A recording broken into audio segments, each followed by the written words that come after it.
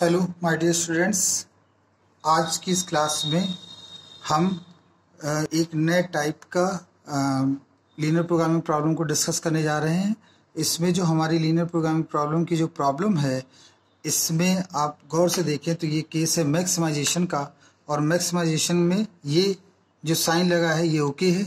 ये गड़बड़ है साइन। क्यों? क्योंकि मैक्सिमाइजेशन में सारे साइन लेस और इक्वल के होने चाहिए। लेकिन ये चलिए तो ठीक है। इसको तो हम कन्वर्ट कर देंगे। लेकिन जो सबसे बड़ी प्रॉब्लम आ गई, वो ये लिखा है कि एक्स थ्री कैसा है? अनरिस्ट्रिक्टेड है। अनरिस्ट्रिक्टेड इन साइन में। तो देखिए एक्स थ्री अगर अनरिस्ट्रिक्टेड है तो हमें रूल ये पता है कि अगर कोई वेरिएबल अनरिस्ट्रिक्टेड होता है तो ड्यूल फॉर्म में इक्वल का साइन पुट कर दिया जाता है। तो सबसे पहले हमारा मोटिव क्या होगा कि जो दी गई इक्वेशन है, उसे हम कन्वर्ट करें कैनोनिकल फॉर्म मतलब स्टैंडर्ड फॉर्म में उसे हम कन्वर्ट करें। तभी वो क्वेश्चन सॉल्व होगा। तो आइए कैसे हम इसको स्टैंडर्ड फॉर्म में कन्वर्ट करें, उसे देखते हैं। लेकिन एक और यहाँ पर बात आ गई है कि x3 कैसा है? X3 जो हमारा है, वो अनरिस्ट्रिक्टेड है। तो सबसे पहले इसे तो आप कन्वर्ट करना जान ही गए हैं। इसमें हम क्या लिखेंगे? माइनस साइन से इंटू कर देंगे। तो आएगा four x one plus x two minus two x three और माइनस फिफ्टी ये तो एक लाइन में ही आपका कन्वर्ट हो गया, इसमें तो कोई इश्यू नहीं था।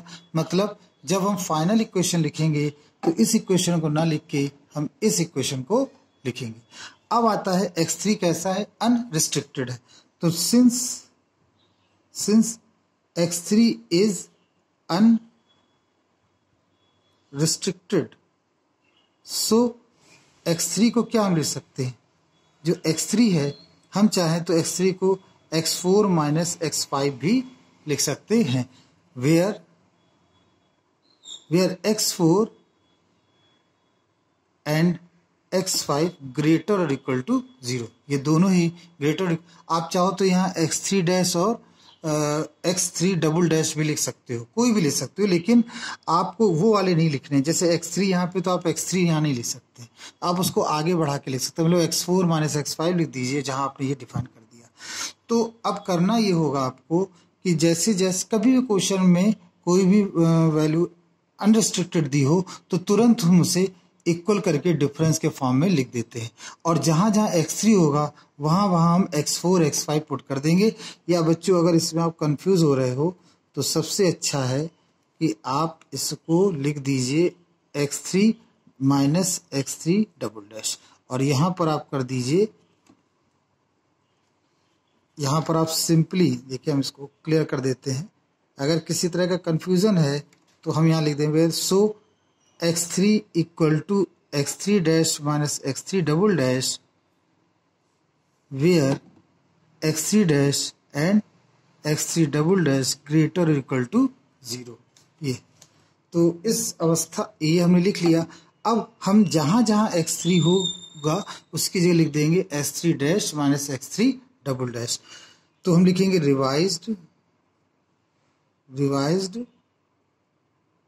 प्राइमल प्रॉब्लम तो सबसे पहले जो मैक्स जेड है, उसको ऐसे रखेंगे। थ्री एक्स वन से हमें कोई मतलब नहीं फाइव एक्स टू से हमें कोई मतलब नहीं।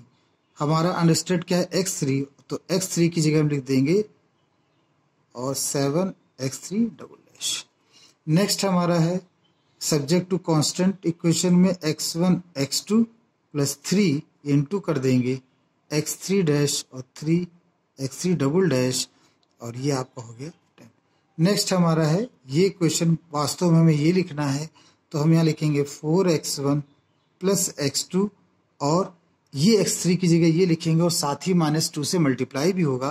तो लिखेंगे minus two x three dash plus two x three double dash और माइनस का फिफ्टीन तो इस प्रकार से ये जो इक्वेशन है, ये सब्जेक्ट टू कांस्टेंट है और लास्ट लाइन में लिखेंगे x one x two x three x four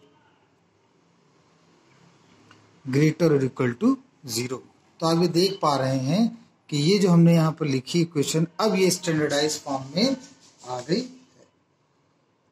clear हुआ बच्चों कि जो अनरिस्ट्रिक्टेड है, उसे हम डिफरेंस के फॉर्म में लिखते हैं। और जहाँ जहाँ अनरिस्ट्रिक्टेड वैल्यू दे रखी है, उसकी जगह हम डिफरेंस की वैल्यू को पुट कर देते हैं। अब ये हमारी स्टैंडर्ड फॉर्म में कन्वर्ट हो गई। अब डायरेक्टली हम बदलेंगे या डायरेक्टली हम सॉल्व करेंगे ड्यूल फॉर्म तो अब ड्यूल फॉर्म में देखिए क्या लिखा जाएगा ड्यूल फॉर्म तो मैक्सिमम जो है, वो कन्वर्ट हो जाएगा किसमें? मिनिमम या स्ट्रिक बना देंगे। और आप ये देखिए कितने इसमें क्वेश्चन हैं। वन और टू दो इक्वेशन हैं, इसका मतलब दो कांस्टेंट हैं, इसका मतलब दो वेरिएबल्स हमें लेने होंगे। तो हमने वो वेरिएबल्स ले लिए y1 एंड y2 तो ठीक है। तो ये आप जानते हैं, ये इधर शिफ्ट हो जाते हैं, इसके कोफिशियंट इधर आ जाते हैं तो हम लिखेंगे ten y one minus fifteen y two ये तो पहला बना। लेकिन लेकिन आप ये जानते हैं कि इन इक्वेशंस को भी चेंज करना है तो इसको हम पहले किस फॉर्म में लिख लें इसको हम लिखें मैट्रिक्स फॉर्म में। तो आएगा सबसे पहले आपका माइनस सबसे पहले जो आप लिखेंगे one one three minus three minus four one minus two two ये हमने लिखा है ठीक है? और इस, ये है आपका कौन सा मैट्रिक्स फॉर्म और जब हम इसका ट्रांसपोज लेंगे तो कैसे लिखा जाएगा बच्चों? ट्रांसपोज में one one one, three, minus three, minus four, one, minus two and two. तो ये आपका आ गया ट्रांसपोज। ये ट्रांसपोज। है तो क्यों ट्रांसपोज करते हैं? इससे हमें क्वेश्चन लिखने में काफ़ी मदद मिलती है। देखिए, ये बिगड़ गया। तो इसको हम लिख लेते हैं यहाँ पर। क्या है? इसकी वैल्यू जो थी वो ten, y one, minus fifteen, y two. आइए। अब हम यहाँ पर इक्वेशंस को लिखें। तो सबसे पहले तो आप लिखोगे y one minus four y two और इक्वल में बच्चों क्या जाएगा इसके? क्योंकि मिनिमाइजेशन का केस है, ये मिनिमाइजेशन का केस है तो इसमें इस तरफ़ साइन लगेगा। और इसके इक्वल में यहाँ जो कोफिशियंट होता है, वो शिफ्ट होकर यहाँ जाते तो यहाँ लिखेंगे हम थ्री नेक्स्ट जो आपका बनेगा, वो आएगा देखिए y one plus y two और ये यहाँ पे हम लिखेंगे फाइव फिर आएगा three y one minus two y two फिर ये साइन आ जाएगा आपका सेवन और फिर हम लिखेंगे minus three y one plus two y two और फिर ये साइन आ जाएगा माइनस का सेवन तो कहने का मतलब ये है कि हमने यहाँ पर इस चीज़ को लिख लिया। क्या लिखा? ड्यूल फॉर्म में कन्वर्ट करके। और हम यहाँ पर लिखेंगे where y one and y two greater और इक्वल टू ज़ीरो क्या ये करेक्ट है ड्यूल फॉर्म चेक करते हैं। आपके पास जो ओरिजिनल इक्वेशन थी, उसमें जो वेरिएबल्स थे, वो तीन थे x one x two x three क्या हमारे पास कांस्टेंट तीन है? नहीं है। तो ये गड़बड़ हो रहा है रूल मैच नहीं कर रहा है। तो इस, और एक चीज़ देखिए, यहाँ एक्स थ्री जो है वो अनरिस्ट्रिक्टेड है। तो इसका मतलब जो थर्ड इक्वेशन होनी चाहिए, या जो जो एक्स थ्री वेरिएबल से रिलेटेड इक्वेशन होनी चाहिए, उसमें इक्वल का साइन होना चाहिए। मतलब कोई ना कोई एक इक्वेशन ऐसी हो, जो इक्वल के रूप में लिखी गई हो। तो गौर से देखिए इक्वल के रूप में कौन सी इक्वेशन बनती है? ये सही है, ये सही है, ये देखिए, ये दोनों एक ही चीज़ें लिखी गई हैं। इसमें आप गौर से देखें तो अगर हम अगर हम ये लिखा है three y one minus two y two greater और इक्वल टू सेवन और ये और ये इक्वेशन में लिखा है minus three plus two y two greater equal to minus seven ये जो है, वास्तव में ये इक्वल को दर्शाता है। ये जो चीज़ है, वो वास्तव में क्या है? इक्वल इसको ऐसे समझिए कि जैसे कहीं लिखा हो x minus y greater equal to seven ठीक है? या यहाँ पर इक्वल में ये लिखा है। तो हम इसको दो भागों में ऐसे लिख देते हैं। सबसे पहले तो आप इसको लिखें x minus y greater equal to seven फिर आप इसी में माइनस का मल्टीप्लाई करके फिर दूसरी क्वेश्चन आप क्या लिखेंगे? ये लिखेंगे। भाई, इसमें यही तो हो सकता है कि x माइनस वाई की जो वैल्यू हो, वो या सेवन के बराबर होगी या सेवन से ज़्यादा होगी। और यहाँ आप क्या ले सकते हैं कि जो x माइनस वाई की वैल्यू है, वो सेवन के इक्वल होगी या सेवन से कम होगी। इसका मतलब ये होता है। तो इसका अर्थ ये हुआ कि अगर किसी क्वेश्चन में ये लिखा है आपको, इसको और करके लिख दीजिए माइनस से मल्टीप्लाई कर दीजिए। तो ये अगर लिखा है तो हम इसको डायरेक्ट इसमें कन्वर्ट कर सकते हैं। वही केस यहाँ पर है। Three y one minus two y two greater equal to seven फिर minus three y one plus two y two greater equal to minus seven तो ये क्या दर्शाता है? ये ये दर्शाता है कि हम इन दोनों की जगह पर एक नई इक्वेशन लिख सकते हैं। तो वहाँ हम लिखेंगे now final dual form final dual form क्या होगा?